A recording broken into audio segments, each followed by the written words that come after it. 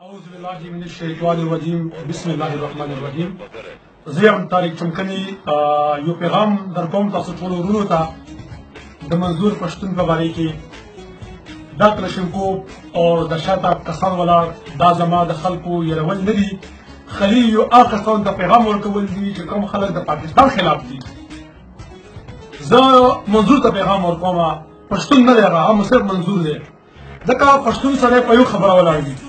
پښتون هغه یې پښتون هغه قوم دی چې په خپل ملک په خپلې خوره باندې ننګ کوي زه هغه منظور ته زه یو دا پیغام ورکوم چې منظور ته څنګه د پاکستان او د پاکستان د آرمي د پاکستان آی اس آی پاکستان ایم آی باندې کې خبرې کوي هغه سره پښتون نه چې کوم سره د پاکستان او د خپل خوري په سر باندې نه کوي زه زه پښتون یم تم پښتون یم زه په خپل خور باندې ولاړ یم که زما پاکستان خې کبل زما پاکستان دې زه به د شنې ډنډې نه ټیم کې روم زه پاکستان سره شنه بشنه ودرېږم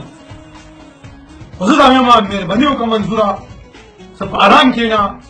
خپل عزت دې په خپل لاس کې دی ګینې د کم پښتون او کم پښتون ته بغاوت ته جوړه دا پښتون چې کم دی دا بالکل نه مني دا هغه پښتون نن سبا نه لري نن سبا پښتنو کې اویرنس راغلی دی ته د انډیا ته د امریکې ته د افغانستان ایجنټ یې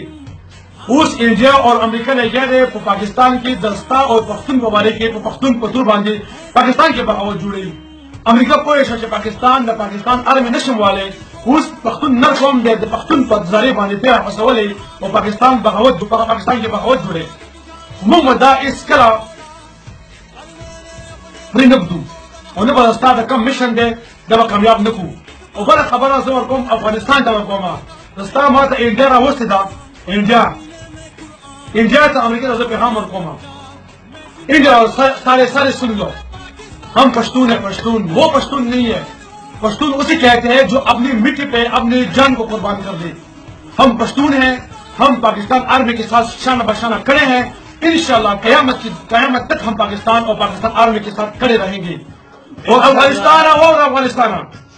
که چېرې په پاکستان کې دوباره اټیک وکړو